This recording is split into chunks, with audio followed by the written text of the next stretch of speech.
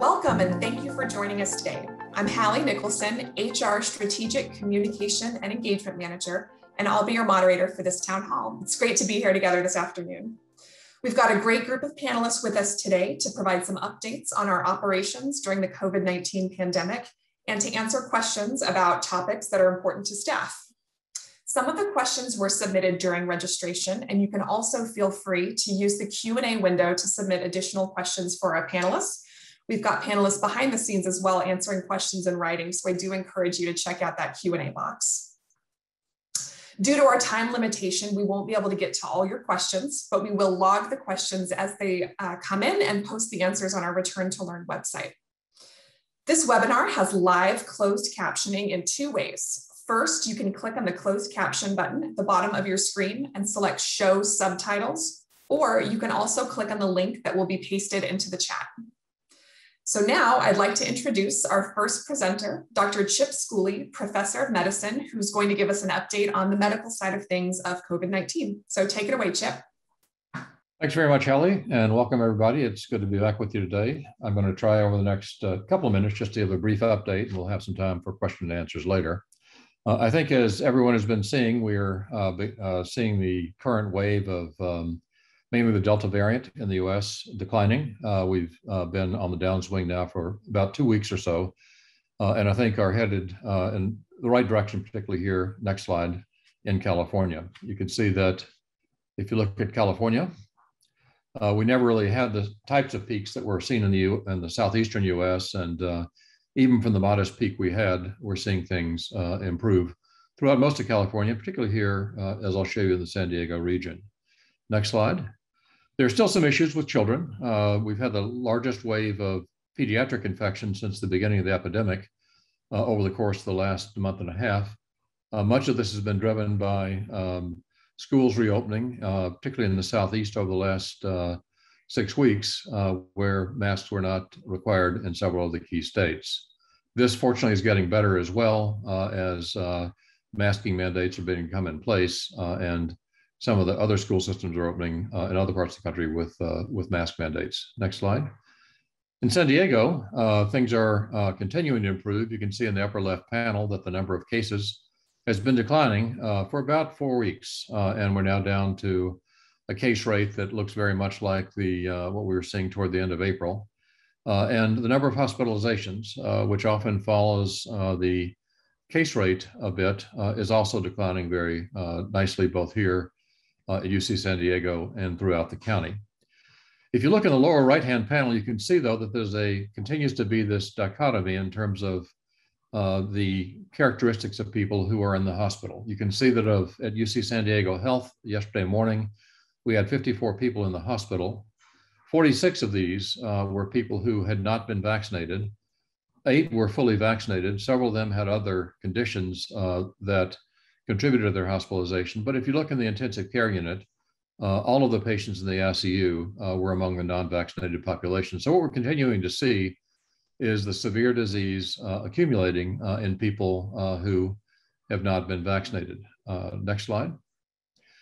And to show you what's going on on campus, if you just focus on the middle panel, you can see that we are having generally a pretty good situation as our students arrive back on campus. We uh, put 13,000 students, um, or uh, a little over 12,000 students in beds and had a campus positivity rate of 0.1%.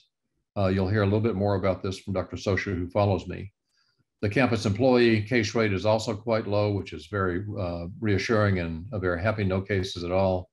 Um, day before yesterday to give you a sense of, of how things are quieting down here as well. Next slide. Now, why are things getting better? Uh, a lot of it is that uh, in other parts of the country, people who had kind of resumed activities uh, indoors and uh, in places where the um, transmission rate was high backed off a bit uh, and began to mask indoors and in crowded outdoor situations. Uh, and workplaces have gotten better at helping identify people through screening and isolating them and quarantining their, their contacts until the incubation period is over. But the most important thing has been we're gradually seeing an increasing level of immunity in our populations at risk. More people have been infected in the past, but more importantly, uh, we have an increasing vaccination rate. Next slide. particularly here in San Diego, you can see that we're close to 90% of San Diegans have, uh, over the age of 12 have had at least one of their uh, vaccine uh, and uh, shots. Uh, and you can see that a little over three quarters of, have gotten, have already had two of them. When you look on campus, our students are coming in above 90% have gotten started. You'll hear a bit more about um, uh, this uh, situation from Dr. Scioscia uh, in a minute or two, but we're very happy with how our students are coming in. Uh, we think they'll be uh, several points higher as we some of the records get reconciled. Uh, on the health sciences campus, we're in the close to 95% of our employees have been vaccinated. As you know, there's a state mandate that goes into effect later this week. You'll hear more about that for health science employees by the CDPH, the Department of Health, which requires vaccination or an exemption campus employees um, are under the UC San Diego uh, um, mandate, which is coming along as well. You'll, again, you have more about this from uh, Terry Winbush, but you can see that uh, our employees are doing well as well, with about 90% of them started and 88% fully vaccinated. Next slide, please. Now, to, to get to the kind of discussion of the day, booster shots, uh, what's going on here? Well, what we're seeing right now is that the three vaccines in use are doing a pretty good job of keeping people out of the hospital uh, and preventing deaths. Uh, we're seeing a fair number of breakthrough infections. Uh, we're seeing more breakthrough infections uh, in uh, people who received the Pfizer vaccine than the Moderna vaccine. And that's perhaps because the Pfizer vaccine was given a bit earlier, perhaps because it was given three weeks apart instead of four weeks apart. But the bottom line is we're seeing more of an erosion in the Pfizer immunity from the standpoint of breakthrough cases uh, than we are in the Moderna um, situation. We had fewer people um, vaccinated with Johnson and Johnson, but we think we're going to see more breakthrough infections with it coming along as well. A lot of discussions have gone on about booster shots. Uh, why do we want to uh, boost people? Obviously, we want to uh, do as much as we can to reduce morbidity and mortality. Um, people who are immunocompromised transplant patients and others have been uh, offered booster shots for some time now. Third vaccine, and many of them seems to provide quite a bit more protection. We also want to decrease transmission so that fewer people transmit virus uh, to uninfected to unvaccinated people uh, at home and their families uh, and, and, and out and about. Uh, there was long discussion about this at the uh, FDA that we'll discuss and at the CDC that we'll discuss in a minute.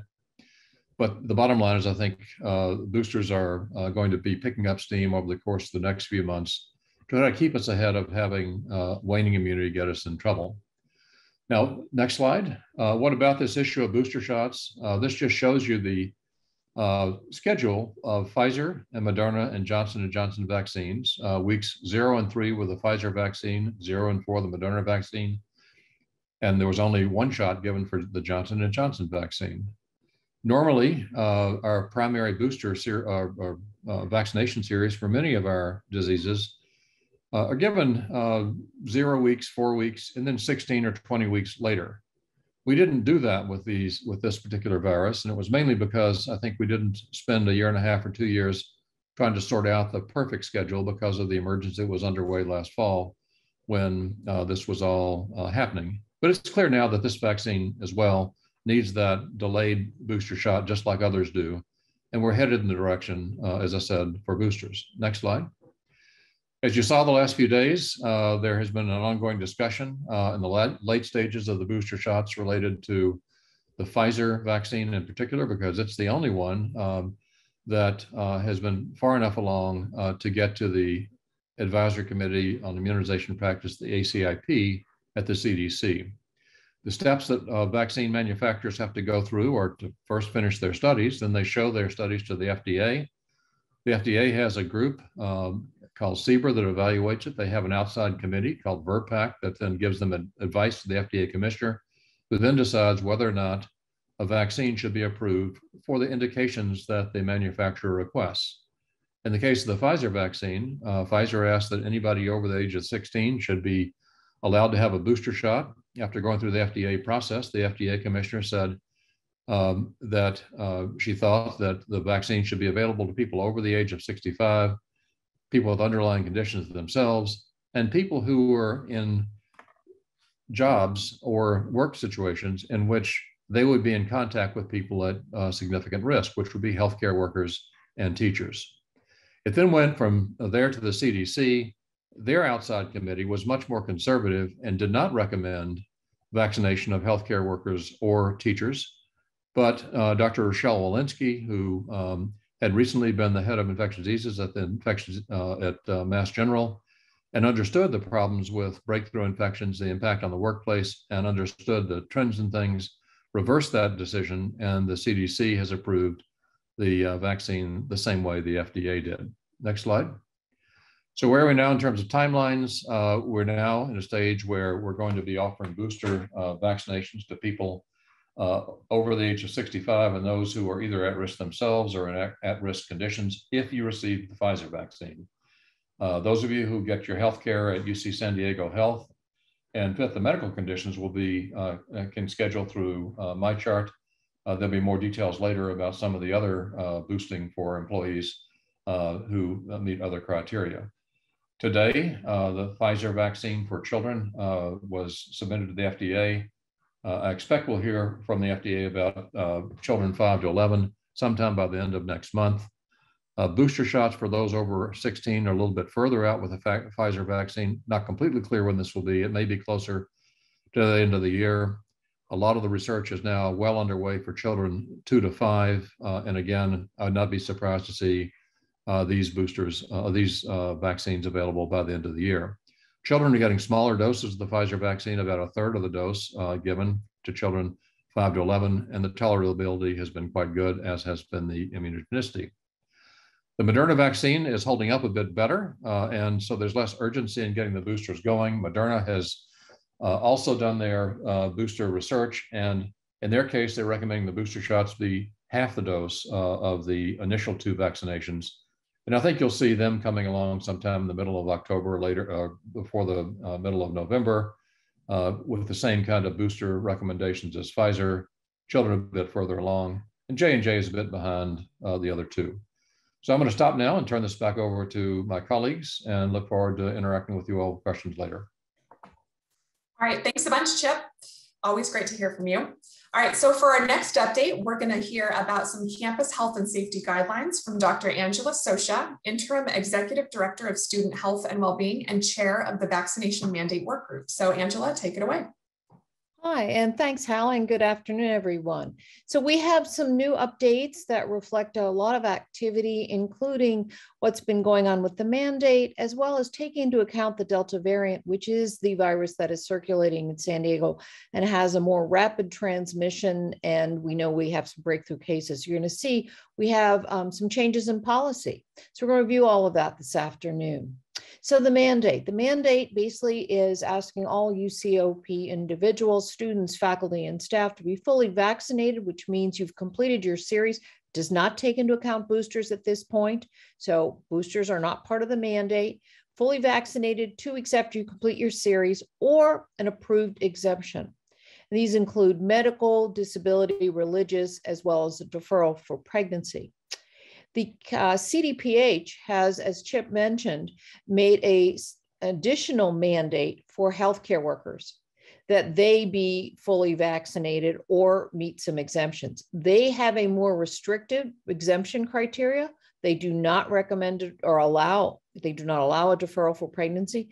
And as we heard at the last town hall, it is actually encouraged that pregnant women do vaccinate. There are some health benefits to it. Uh, they also do not uh, have an exemption for recent COVID infections or a positive antibody. There, so there are more restrictions on the CDPH requirement for healthcare workers that does go into effect.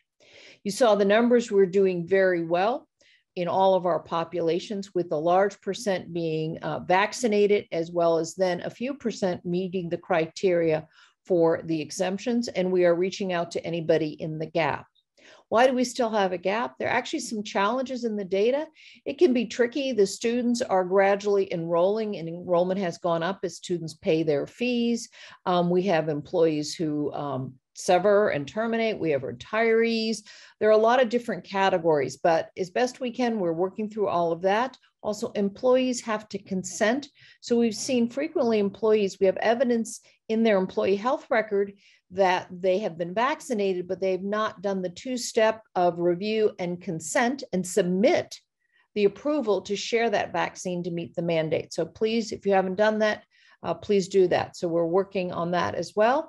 And then we have the international vaccines for our students generally, which are a little more complex to review and then approve meeting the criteria. And we do offer some supplemental vaccination because some of the international vaccines are not as protective. Vaccination is still available for primary vaccination at the Price Center for both employees and students. We're not doing boosters at the Price Center, but if you meet the criteria and you are a UC San Diego uh, a patient, you should have actually gotten a message. It's very easy. I met criteria by age and my employment, and I got my vaccine in the Athena Center. It's drive up, super easy. Their appointments are available if you meet the criteria. I think there is a little confusion about the education. My understanding, and Chip will certainly correct me if I've got this wrong, is it's been for younger educators, not for higher ed educators. They have not been brought under the Pfizer WHO at this point. I think things will expand and more uh, uh, populations will be allowed uh, to have access to booster with time. Um, and it's possible we'll have it on campus, but right now, the easiest way to get a booster, if you meet criteria, is going to be in the health system that you receive your care. Next slide. And also a comment, flu vaccine is widely available. We do not yet have an official mandate. Um, we anticipate it may come and it will likely be a self attestation. I would take advantage of flu vaccine. You can get it at any pharmacy and your healthcare providers.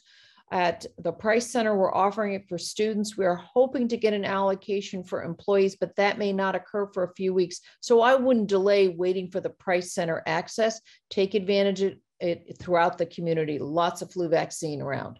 Next slide.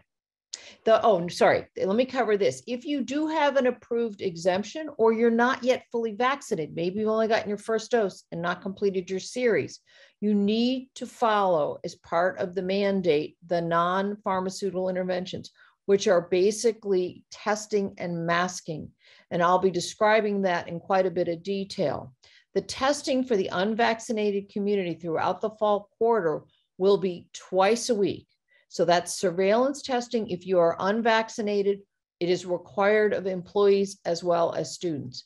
Remember, last year, employees were encouraged but not required. Under the mandate, unvaccinated employees are required to test twice a week if they are coming onto campus. Next slide. So we've had some changes in the exposure guidance, and this is very important for employment. Um, it's partly related to the duration of quarantine because Delta tends to have an onset that is sooner. And so people convert, and we want to pick up conversions fairly soon. So, if you are an unvaccinated individual and you have been notified by public health, either our own team or the county's team or another provider has told you that you meet criteria, it's not a self definition, that you have been exposed, and you're unvaccinated, you need to remain off campus. If you're a residential student living with other non family members, you'll be moved to quarantine housing. Um, you need to test upon notification and then get a day five test post post exposure. If those two tests are negative and you monitor your symptoms throughout this period, a period of seven days, then you have completed that quarantine. Keep monitoring your symptoms. Everybody should do daily symptom monitoring. That's part of our normal life now. If you're an employee, though, that period of quarantine for work function is extended to 10 days.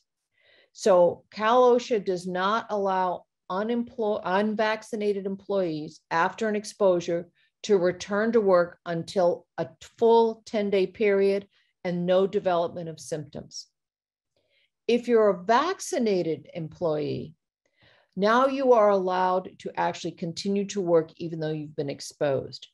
This is something the healthcare workers have been doing um, through a large part of the pandemic. If you don't have symptoms and you've been fully vaccinated, You are allowed to continue to work, but we are adding some added safety precautions.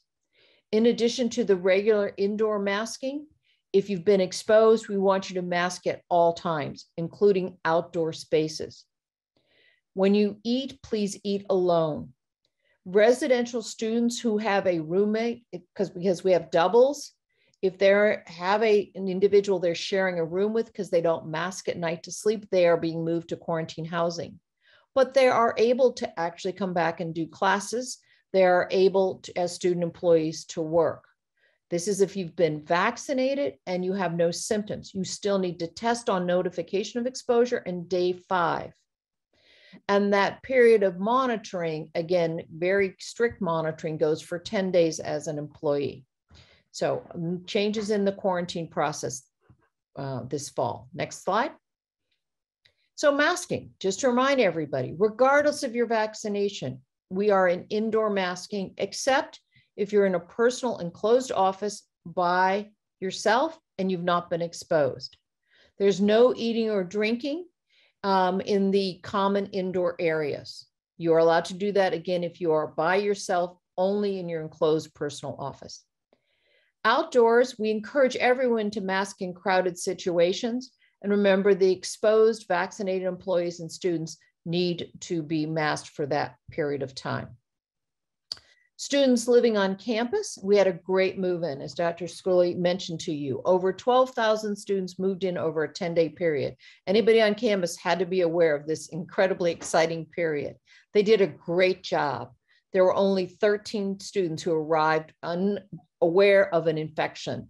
Uh, asymptomatic students picked up very quickly and moved to isolation housing. That positivity rate of 0.1 is substantially less than we expected and better than many sister campuses in uh, the system.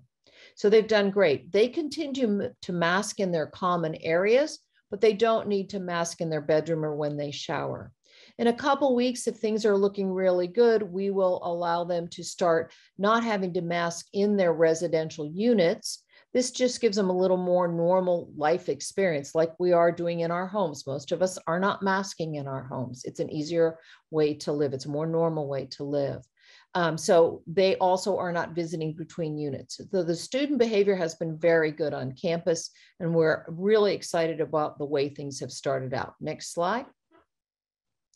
So masking, just a reminder, uh, a mask is not a scarf or a bandana. It's not a ski mask or gaiter or a collar. It's not putting your arm in front of your face when you walk by someone. It's also not the shields. The shields do not alone work as a good mask. A mask needs to cover both your nose and your mouth. It needs to be tightly fitting.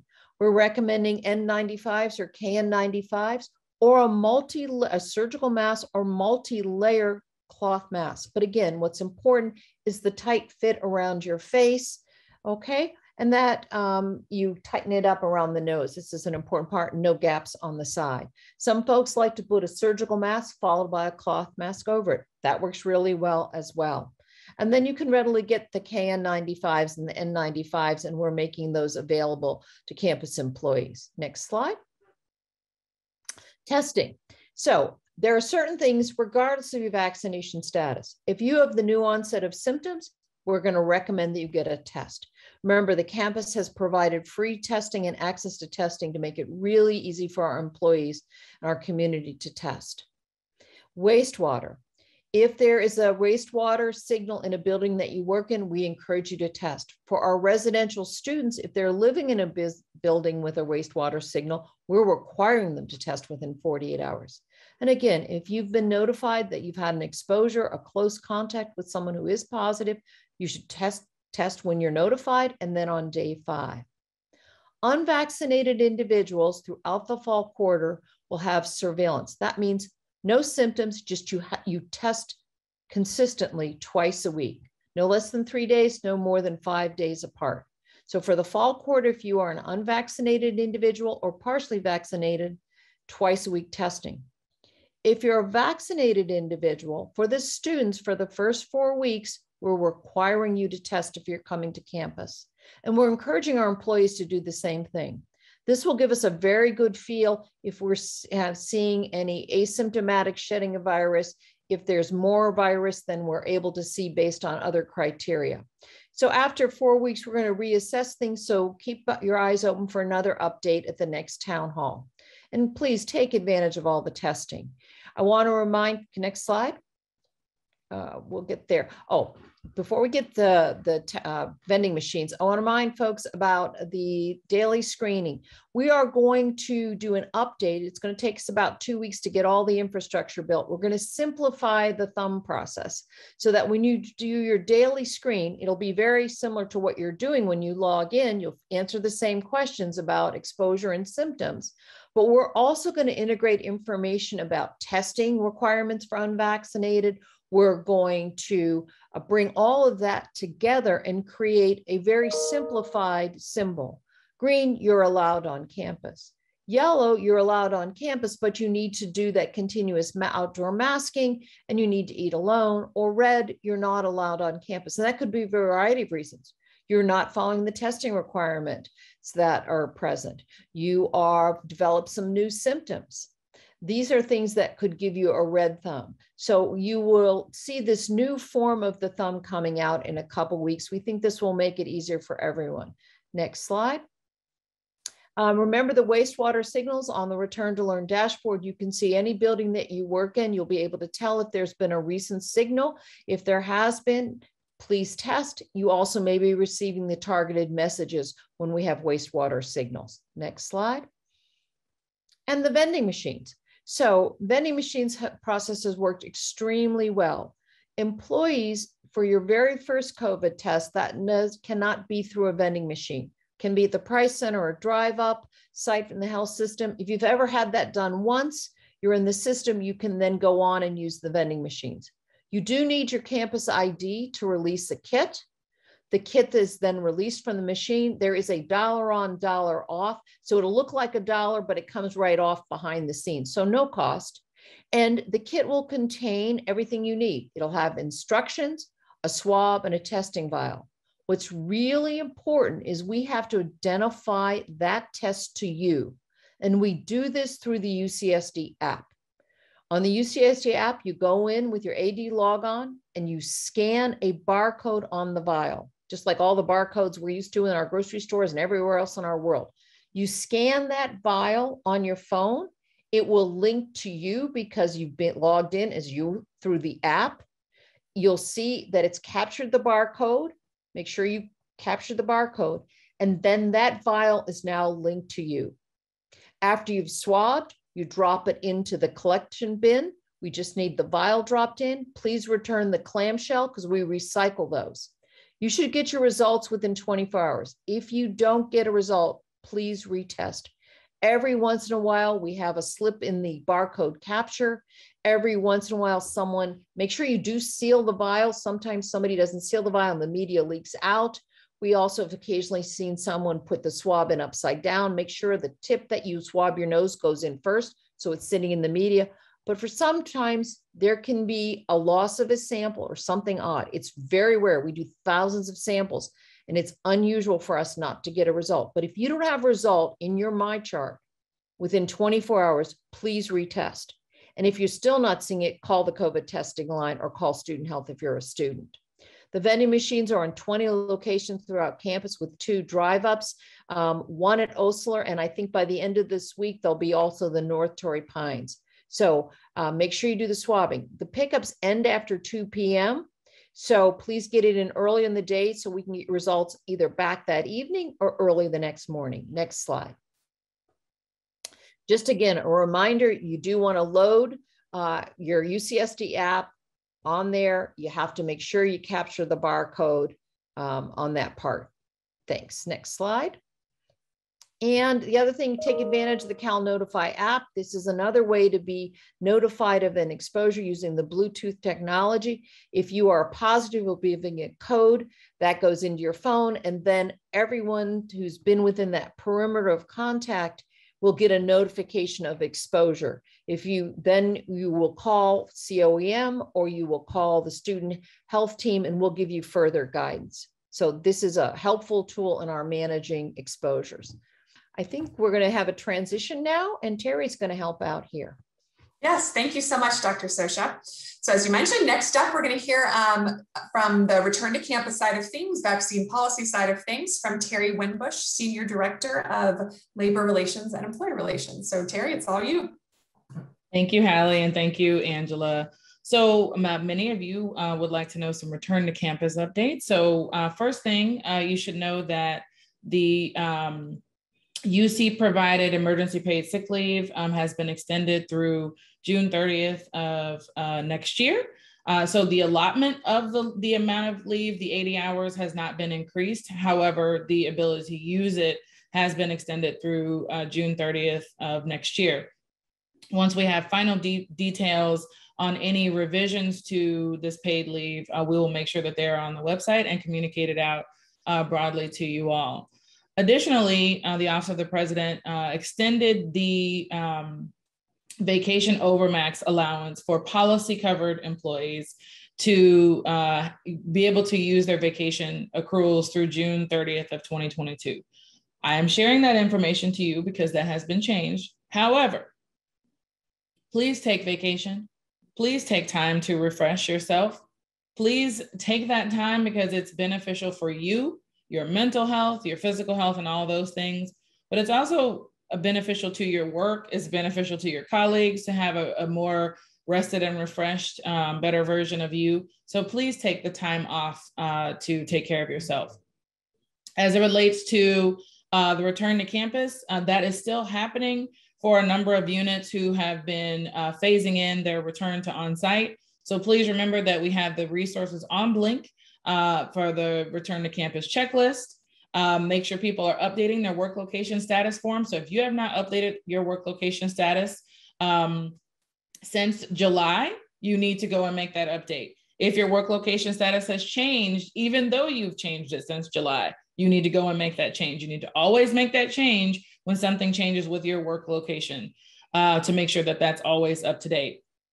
Additionally, there is information on Blink about the flexible work arrangement policy and guidelines uh, information about training and professional development that we are offering, uh, as well as the fact that we've uh, added additional offerings for supervisors and managers um, to be able to give more opportunity for them to engage in the return to campus training because we know that not all of them were able to attend um, our first several sessions. And so we are uh, still um, rolling out content to make sure everybody has the information needed for this.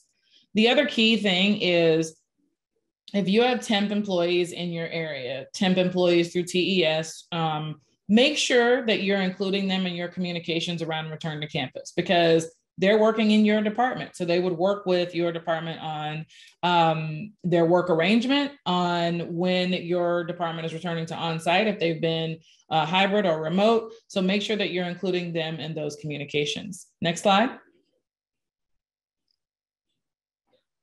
So this is a key uh, component of what Angela was talking about earlier. So we know that um, at least 88% of our campus employees are fully vaccinated, but we only have consent for uh, and compliance for approximately 82 to 84%. So we have to close that gap because there could be someone who hasn't consented to share their information in MyChart and they haven't submitted an exemption or deferral, and that means they're not compliant. And we don't want to discipline anyone if we can avoid it. The goal is for everyone to be in compliance.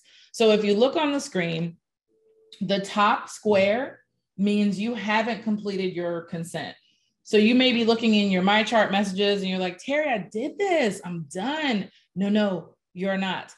You have simply opened the message, but you have not completed the process. So you need to click on that message. Look, click on the subject header, click on one of those words, consent to share COVID vaccine information. Click there. It will take you to another page. On that other page, it will have information for you to review. And then you can decide whether you want to consent to share your information. You say, yes, I approve. And then after you click, yes, I approve, you have to then click submit. And then you are done. And then when you go back and look at your messages, if you've completed that process, your consent to share COVID vaccine information will have a green check mark. So see the difference between the top and the bottom. And some of you are probably thinking, why is she baby stepping this for us? You would not believe how many folks don't see the differentiation between the two checkboxes. So we want to make sure it's very clear because we don't want to continue sending out these sort of, um, hey, heads up, you haven't been compliant with the process. Hey, heads up, when you think you've done something and you feel like you've been targeted. We don't want to target you. We just also don't want to discipline or get to the point of firing anyone when it's just a function of getting in compliance. And that is by either um, giving consent uh, uh, for your uh, vaccine status or by submitting your exemption and deferral and then responding to Sedgwick's request. So the other thing we communicated about last week, and I know we got a lot of reactions from a lot of folks, you know, why am I getting this message? I've done everything that I was supposed to do. Well, a number of people received communications from Sedgwick where Sedgwick gave them their file number. They did not reply to Sedgwick's message. Instead, they sent Sedgwick a separate message with a separate subject heading. And in some cases, said on the subject heading, here or documents, and didn't include any further information for Sedgwick to be able to identify them as someone they'd already communicated with uh, for an exemption or deferral. So that delay is processing time. And that means when we get the updated list from Sedgwick on where people are in the process, you don't show compliant. So that's why you're getting communications from us. It's key that you follow their instructions to the letter by replying to the email, by uploading the documents as they tell you, by submitting it in the form they tell you. If they need a PDF, you have to send a PDF. You can't send a picture. You have to send it the way they need it because they are processing thousands of requests. Just our location alone has more than a thousand requests. So if you can imagine, up and down the system, every single location but one is using Sedgwick. they really need you to follow those instructions for timely processing. Um, so please don't get frustrated with our messages. Just know we really, really, really just want to do everything we can to get compliance before we get to the point next week of sending out notices of non-compliance that are followed in the uh, flow chart and the policy that then lead to discipline. We don't want to go there. Um, the other thing for supervisors is there's the supervisor dashboard. Supervisors should be checking this dashboard every single day. So this is another way for a supervisor to interface with their HR to find out exactly what should be communicated to an employee and then communicate that to the employee so they're getting it wrapped up in a circle so they know exactly what they need to do to make sure they get compliant with the policy if they're showing is not compliant if you aren't on the uh, on a UC San Diego worksite, make sure you're on VPN if uh, you're having connection issues. You have to be uh, VPN in order to connect to the supervisor dashboard. But it is key to look at that. What we uh, built into the dashboard uh, includes your symptom screening uh, or the symptom screening for your your staff. So for those of you who get sick of looking for the emails on the symptom screening and how folks are doing, you can actually see symptom screening in the supervisor dashboard and sort of at a glance to make it very simple for everyone interfacing with it. We're trying our very best to make this process as simple as possible. But again, our we're going to ex- exert as much effort as we can on the front end through this week to try and get as many people compliant as possible. Uh, and then next week we'll actually start issuing the mm-hmm. notices of uh, non-compliance uh, to, to do that final push because like i said we don't want anyone to um, end up losing their job over not having um, engaged in this process so with that i'm going to turn it back over to hallie and thank you all for listening all right thanks a bunch terry Next up, we're going to hear from Executive Director of Transportation Services, Josh Kavanagh, for an update on the light rail and some other transportation topics. So, Josh, it's all you. Great. Thanks so much, Hallie. It's great to be with you all today. And, and boy, has it been an exciting couple of years on campus. We've been working uh, furiously on the campus transformation and really putting our strategic plan as a campus into action. And, and we're seeing the physical manifestation of, of that across the campus. So in the campus strategic plan, we set three goals for the campus transportation, that our campus would be a destination um, that everything we do is going to be about enriching the student experience and that our built environment um, helps to spark research and, and innovation.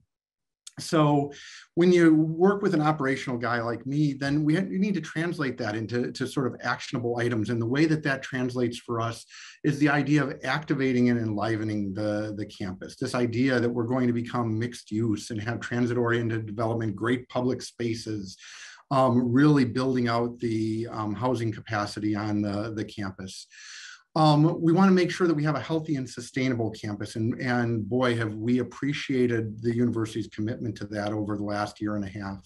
And so um, that, of course, plays out uh, in the context of COVID with creating great open spaces where we can meet and be together and collaborate without being in an indoor environment.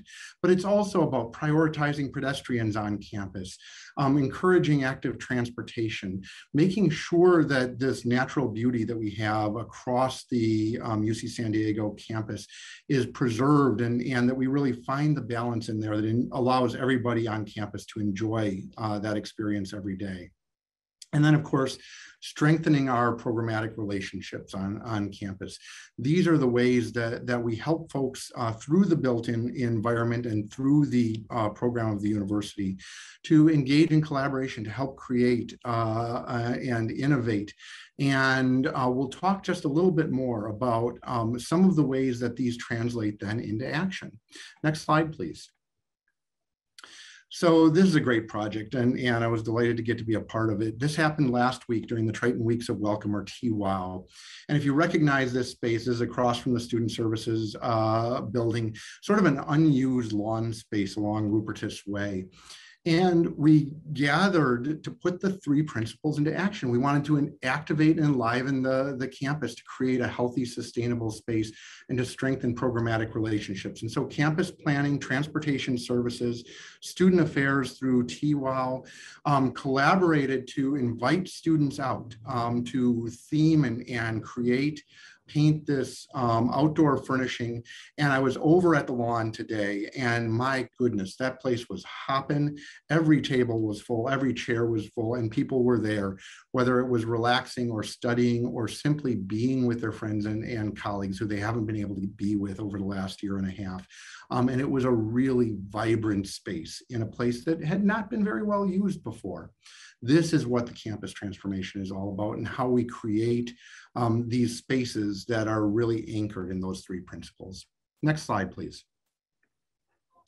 So now let's take a look at how the campus transformation and the arrival of the UC San Diego Blue Line trolley are reshaping University Center. And can we roll the video? So as we enter campus here, we're looking up Gilman Drive now, and beneath the guideway for the trolley, you see that beautiful new park that we'll be constructing over the next year, year and a half or so.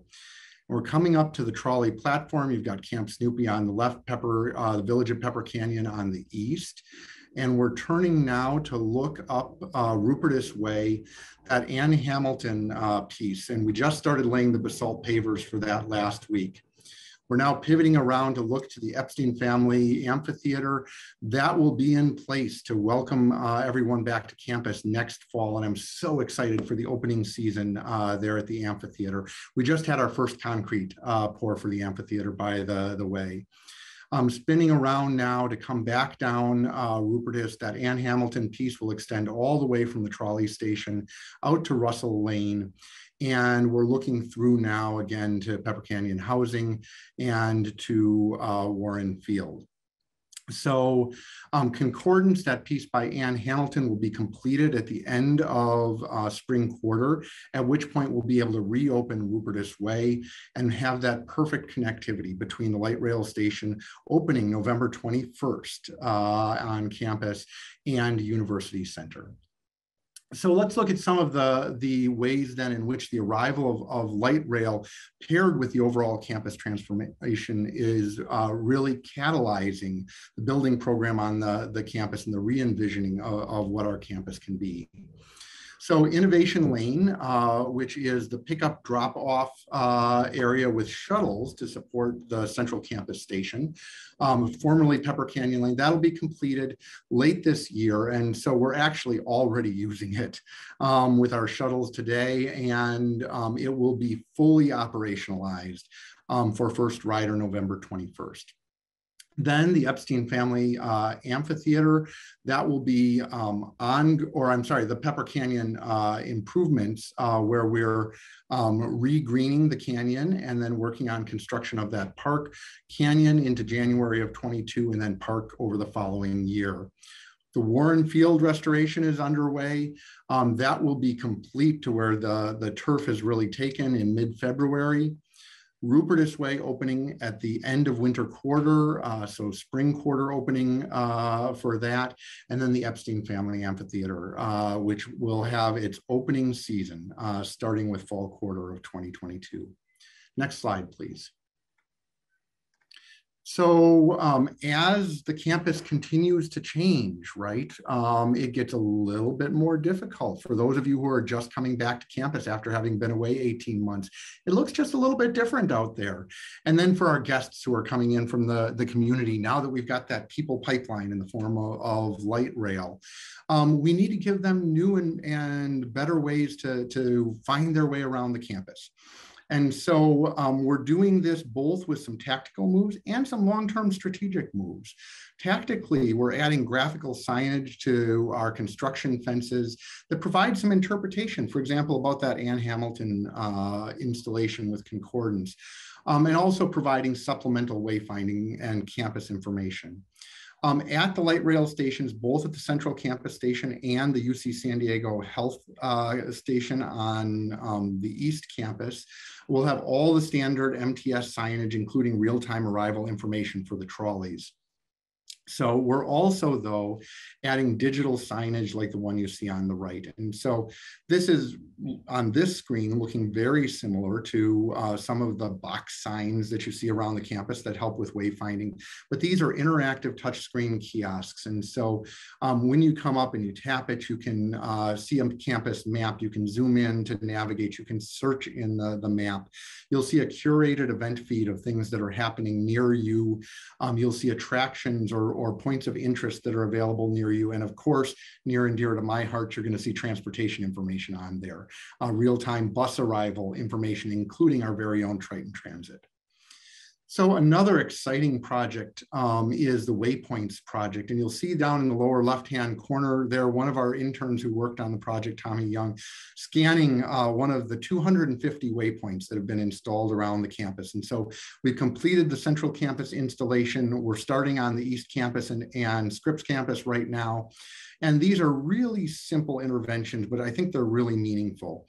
It's a, a sticker. Um, you'll find them on light poles throughout the campus. It's got a QR code on that.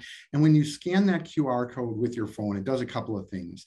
The first thing it does is it opens the campus map, but it does more than give you a map. It actually centers the map on the point where you're standing on the campus so that you can put yourself in context on the campus. The next thing it does is it opens a dialogue that shows you some of the resources that are available around you. It tells you what campus neighborhood you're in. It tells you about the food options that are available uh, near you and actually links out to some of those dining uh, areas. Um, it gives information about how to get around campus, some of the transportation options that are there. Um, it gives information about buildings and services that are nearby. And it also gives you information about the wonderful public art that we have uh, on campus in the Stuart Collection and beyond, um, and helps you find your way to those pieces. We think this is a great um, gap filler, if you will, in the, the campus wayfinding system, which addresses those big moves, but hasn't historically helped people anchor themselves in context.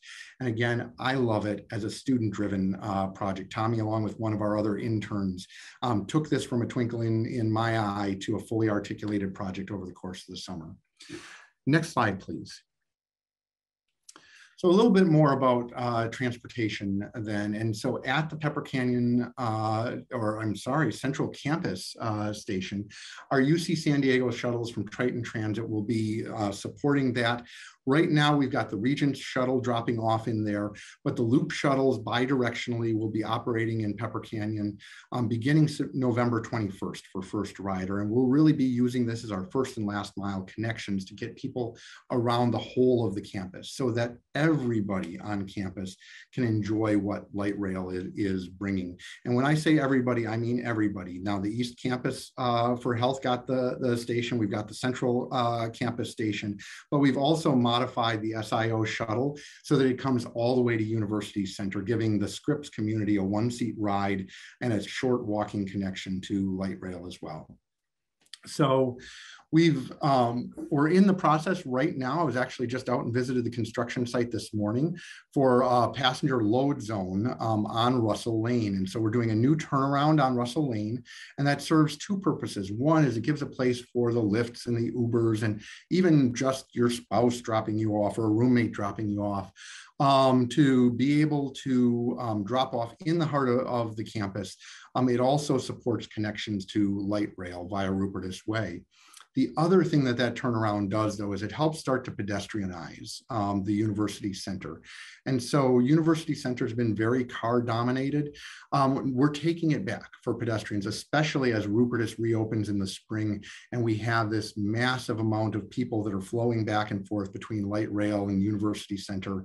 Um, we want to make sure that that is a welcoming and safe um, pedestrian environment. And this turnaround is an important part of that. In the temporary condition, we've restriped Rupertus uh, Way to two-lane traffic to make sure that people can still access vital things in the University Center while that turnaround is being constructed. And then we're doing improvements all along the Voigt corridor for um, bicycles, for pedestrians, um, we've added permanent uh, or we've added temporary lighting in there. We have permanent lighting coming later this year and at the beginning of 2022. We've got improved buffered bike lanes throughout there. We're actually getting protected bikeways on the Voigt overcrossing for the first time ever, which is something that I'm just giddy uh, about. Um, and then the Voigt roundabout, our first roundabout on campus opened earlier uh, this year.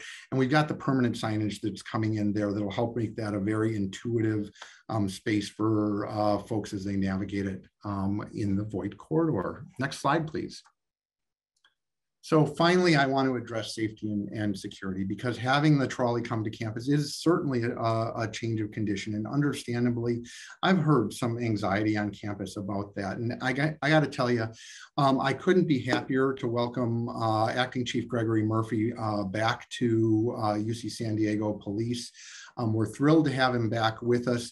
And one of the first things he did as he landed on campus was establish a really great working relationship with his counterpart in the MTS security uh, function. So we've got security cameras that are shared by both agencies um, at the stations. Um, we've got gates. We're actually the only two light rail stations in the entire network that have gates on them um, because we've got some adventurous people here on campus. Let's, you know, own it. And we want to make sure that nobody's getting onto those tracks uh, overnight when um, the trains aren't, aren't running.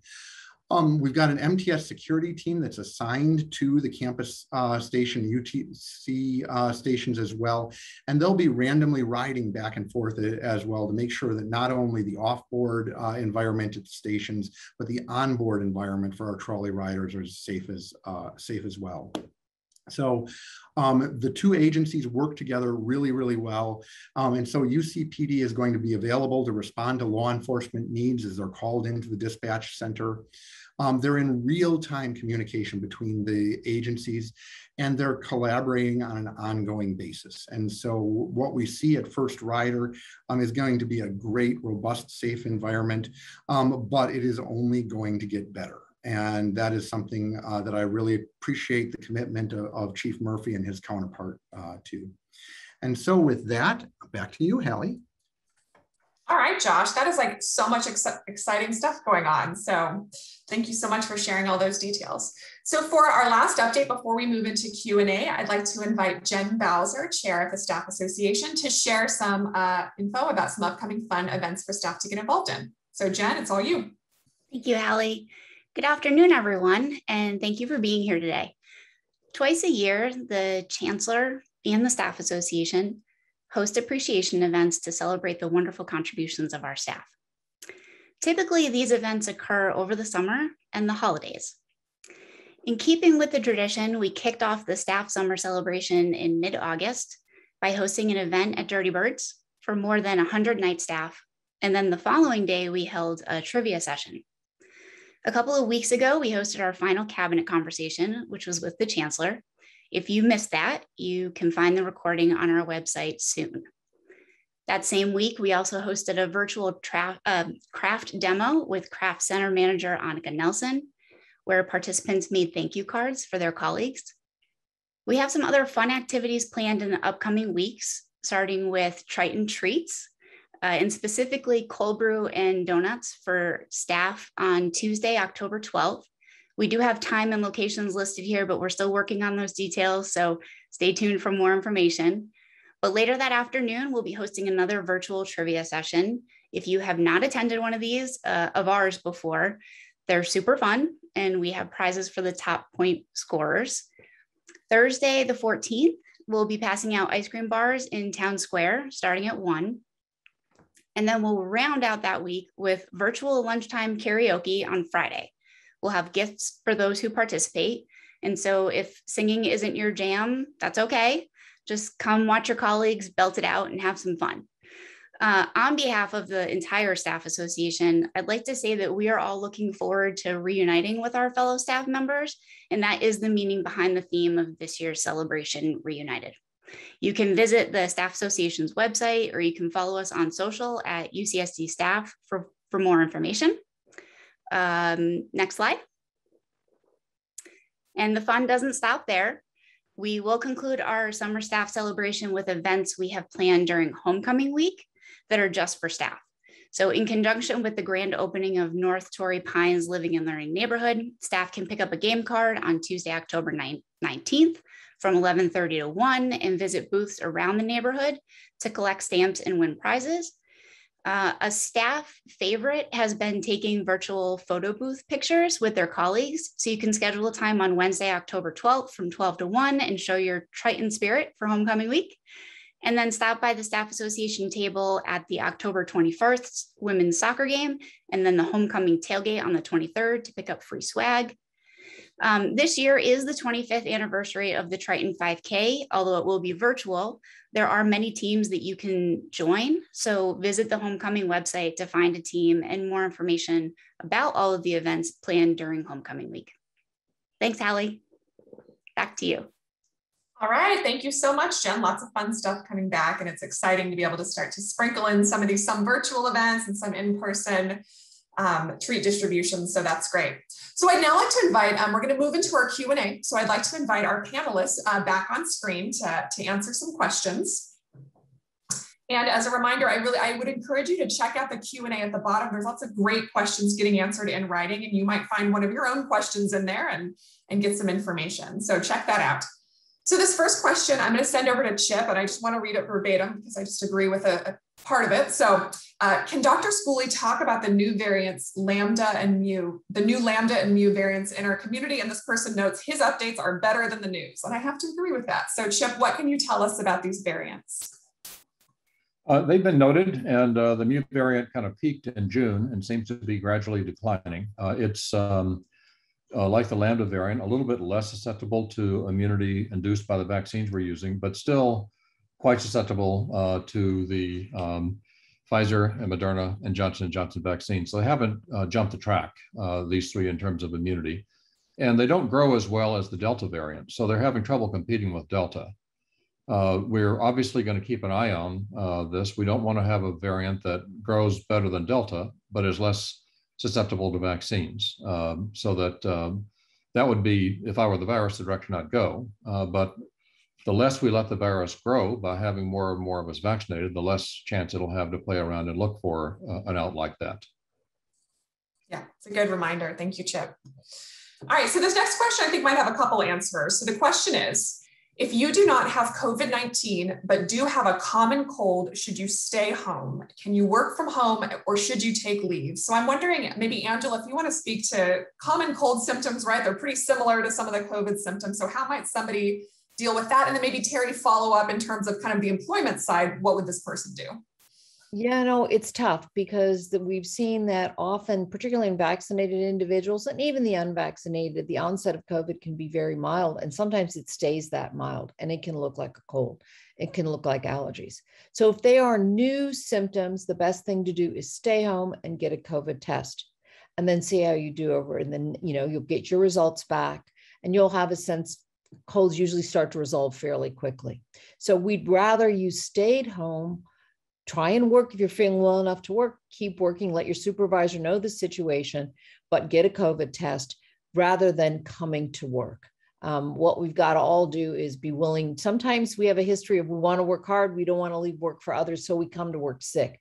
This is not the time to do that. You can do a lot more disservice, and it could be COVID just subtly looking like a cold. So please test, stay home.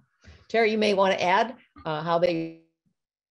Yeah, I just want to amplify everything that Angela said. If you are not feeling well, look, this was the case pre COVID, but I cannot emphasize this enough in these times and forever in the rest of your future.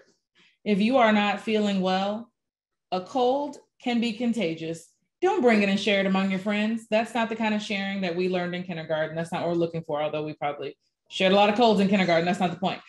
Don't come to work. Do not come. Please do not come. Please do not come. Please go get a COVID test. Please isolate from folks until you know uh, what you have. Now, as, as it relates to leaves that may be available to you, um, when you um, uh, take your COVID test, there may be a number of things. Uh, if you are COVID positive or if you've had an exposure or something like that, you may be uh, uh able to avail yourself of the, um, the emergency paid sick leave, the 2021 leave that is available. You may also be able to utilize your sick time, uh, your vacation time. You, we, we want you offsite. So we are going to figure out a way to have you protected to the greatest extent possible. There is still Cal OSHA leave. So don't forget that if you have COVID symptoms and you are required to stay home, but you are otherwise able and well enough to work, but maybe you don't have work that is uh, remote work, then you would be eligible for Cal OSHA leave for up to 10 days. So don't think that I've got to come in because I've got to make sure I'm earning enough money for my family, that thereby putting everyone at work at risk and maybe even your family members because you have now you know left the confines of the room in your home. So please please do not come in if you are sick. Do not. Good reminder. Thank you terry. All right josh here's a question for you. How do you think the mid-coast trolley extension will change the staff experience at uc san diego? And another question tacked onto that that I can remind you about if you ask the first one is, will the Hillcrest shuttle remain in service after the trolley is running? Fantastic.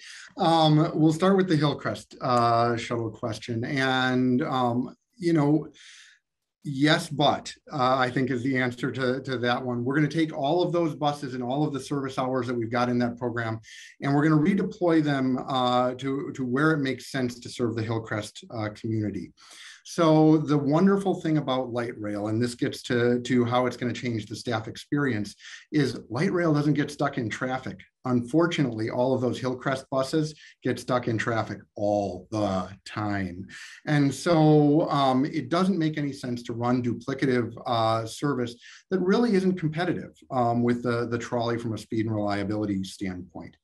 So what we're going to do is we're going to take all of that Hillcrest uh, shuttle service and we're going to redeploy it in a continuous circulator between the Old Town Transit Station, Washington Street Station, and, and the Hillcrest campus. What that means is instead of having 30 minute connectivity, which is what folks have right now with the Hillcrest campus in La Jolla, we're going to have 15 minute connectivity where we can have a bus meeting every trolley that's coming back and, and forth uh, from La Jolla. So much more capacity, so much more speed and, and reliability for folks. Now, I, I hear a few minds, uh, gears turning out, out there, but wait a minute, uh, the, the shuttle is free and the trolley isn't. Um, well, the trolley is going to be to get us started at least. Um, we're really delighted to be able to sponsor the first three months of transit ridership for anybody that joins our Fast Pass program. Some people are joining right now and, and jumping on the bus. Others are, are going to hold on and wait until November, and I totally get that. But your first three months of transit access 100% uh, supported by transportation services. After that, we've got kind of a step down, but at the very worst, you're going to get 25% off of the retail uh, rate um, because of our negotiated relationship with MTS.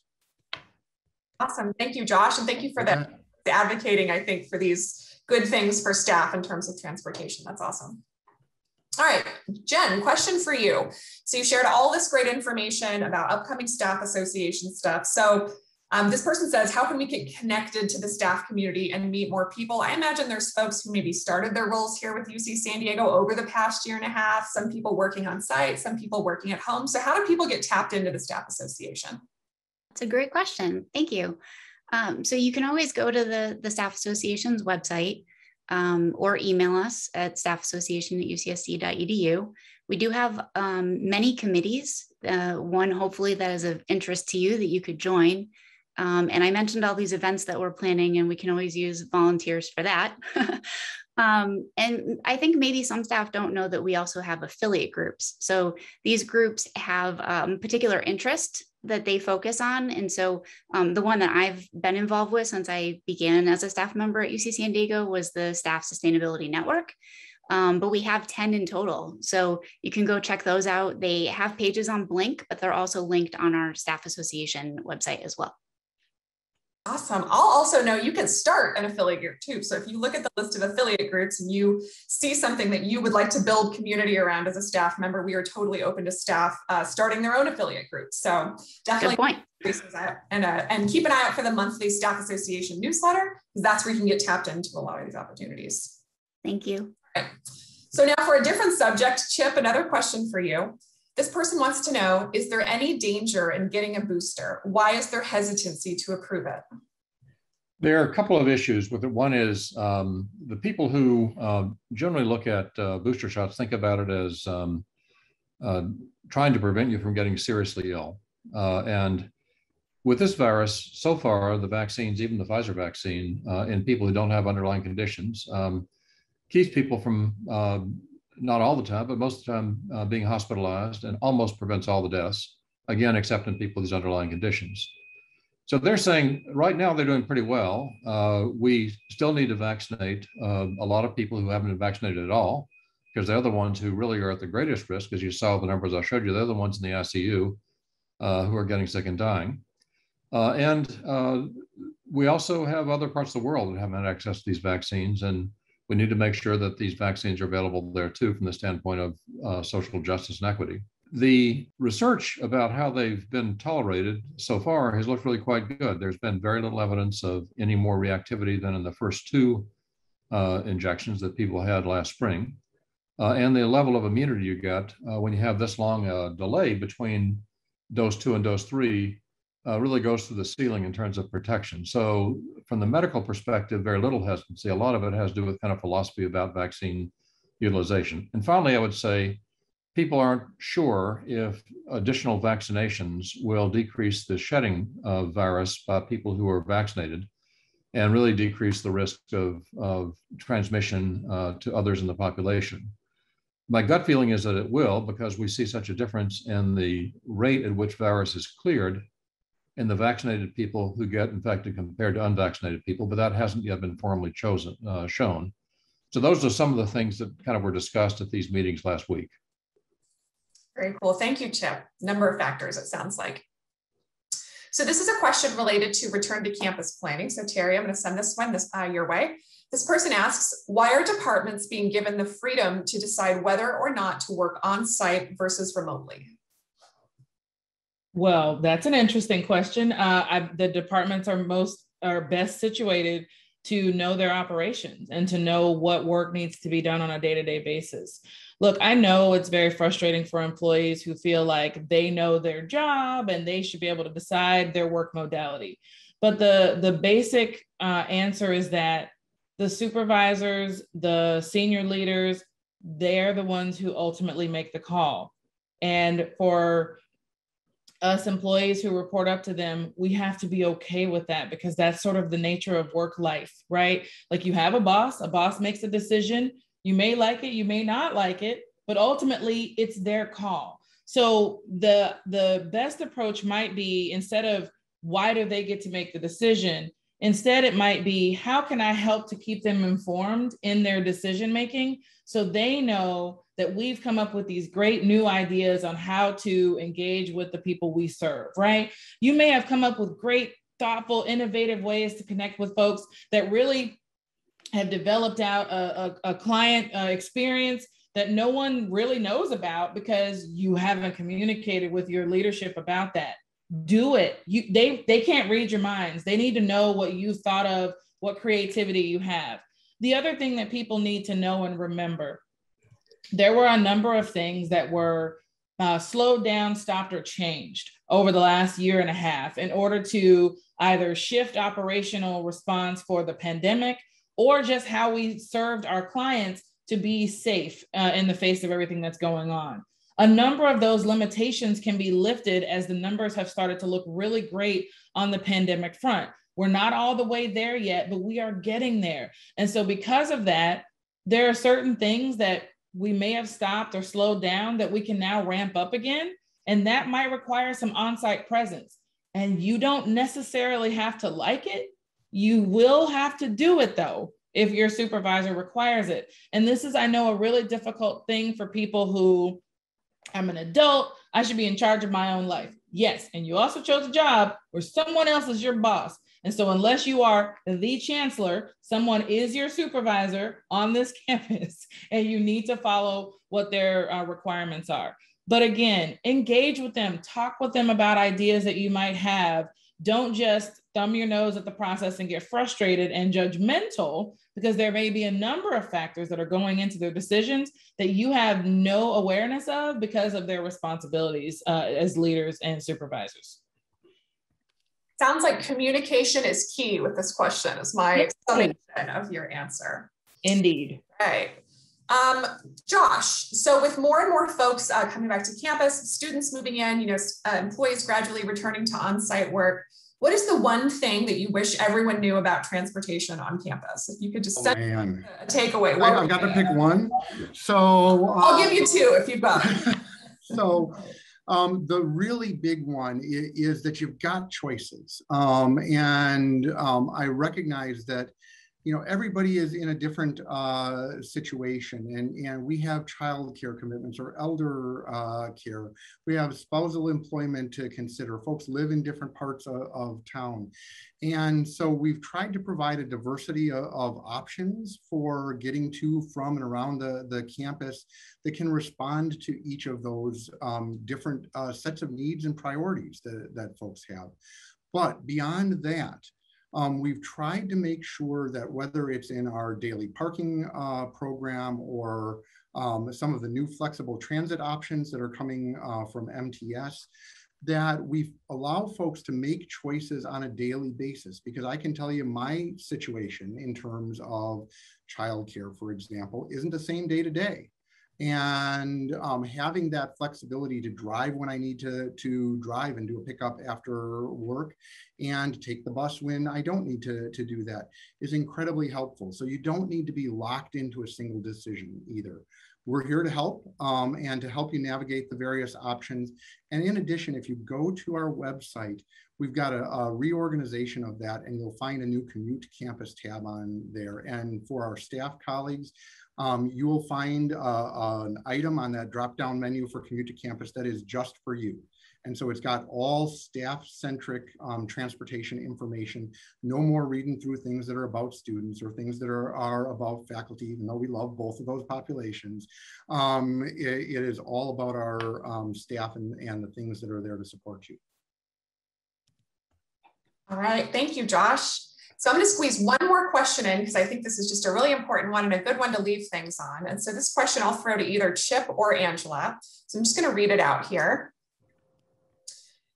Given the increasing risk of breakthrough infections, what do you recommend in terms of testing, masking, other me measures for fully vaccinated folks in general? So this person says, should we be masking outdoors? Should we be getting tested after dining out or going to events? So just kind of some of those life behaviors. What, what would you advice would you give to fully vaccinated folks? Uh, Dr. Scioscia is the one who goes to restaurants much more often than I. She's much more of a bon vivant. So let me let her handle that. Oh, if that were only so true. But I think we all have to live life with being mindful of what we've been doing. So if you've been, if you're going to a crowded situation, a lot of folks, even if it's outdoors, put a mask on, right? Be safer that way.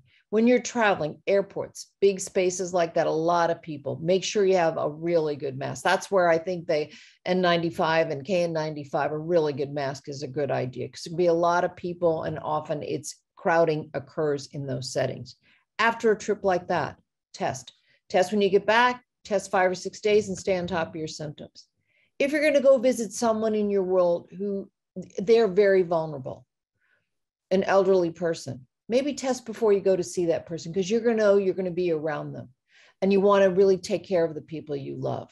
So, this is great that the campus has made testing so accessible and free. They're around these vending machines. We are stocking them every day, testing thousands of people. We are ready. We can absorb thousands of tests every single day. So, if it crosses your mind, you may have been exposed you know, or not exposed in a setting that a little more vulnerability, just grab a test, get a test five days later. You know, just take care of yourself and pay attention to symptoms. I think that's the best we can do. And then take the use those masks, use them a lot. You know, you're going moving around outdoors, you're going to malls, you're going grocery store shopping, wear a mask. It's easy enough to do. Take the times when you're having your mask off to those you know you're around and that they're taking care of themselves that's the way I'm trying to live. It's it's not a perfect world. We all may eventually, you know, we'll have some vulnerabilities, but it's the way to get back to living. Very practical advice. Thank you, Angela. So with that, I'm going to wrap things up today. I want to share the details of another upcoming town hall before we do. So if you have questions related to events and event planning and you want to hear the latest news on that, you can join us um, at our events town hall. That's going to be on October 5th at 2.30 p.m. So we'd really encourage you to join us for that. You can uh, find the registration link at returntolearn.ucsd.edu. Um, you can find a recording of today's event on that same website. Um, so just thank you for being here. Extra thank you to all our panelists for sharing your expertise, and we hope to see you next time. Thanks so much.